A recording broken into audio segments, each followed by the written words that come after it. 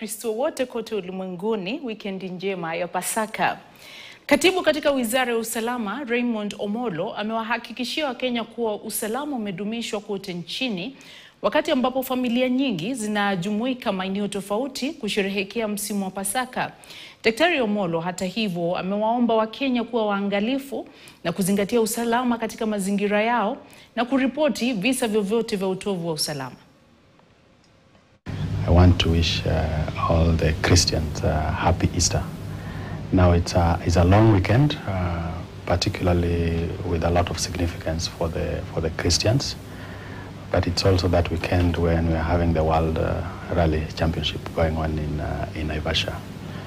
Uh, in terms of the security preparedness, is that just like we have done with other long holidays, is that uh, our security officers have been able to get uh, up to the task of uh, keeping everybody safe over, over the festive season, just to give the assurance to the country that uh, uh, the security teams, wherever they are across uh, the country, have been properly deployed to, to deal with any, any challenges that might arise.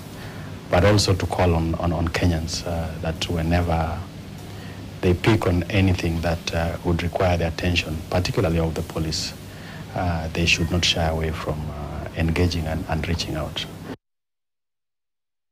Mahakama